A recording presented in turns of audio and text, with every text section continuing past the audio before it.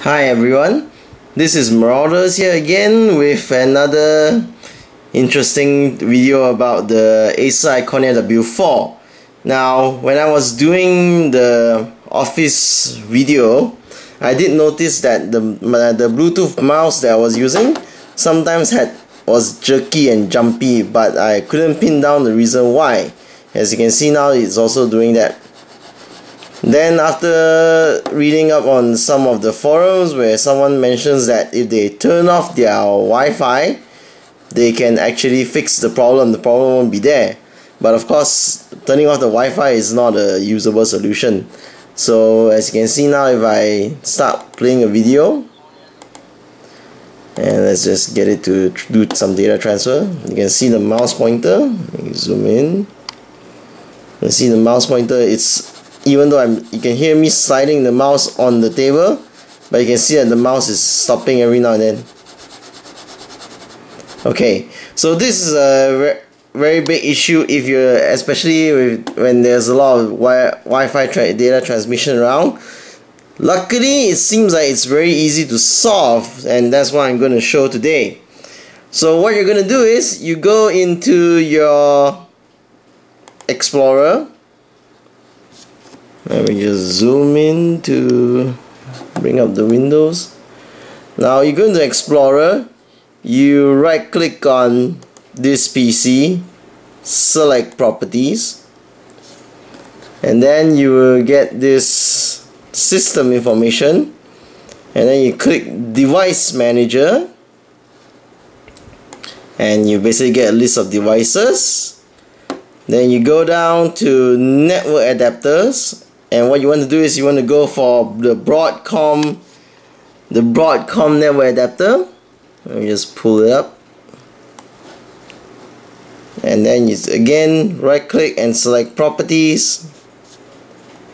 Zoom out a bit. Select properties. And and this is just alright okay? Then you select advanced. And the option that we are looking for is this Bluetooth collaboration. So this is the option we're looking for, Bluetooth collaboration. Now the value here might be auto, might be enabled, but what we want is we want it to be disabled.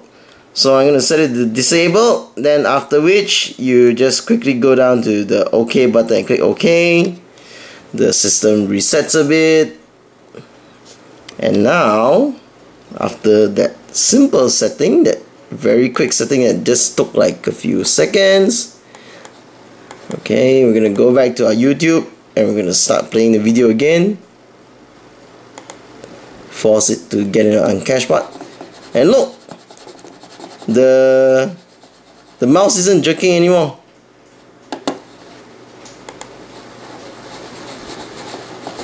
I, I, I think I can still feel some lagginess in it so uh, and it, it's definitely due to the hardware I guess.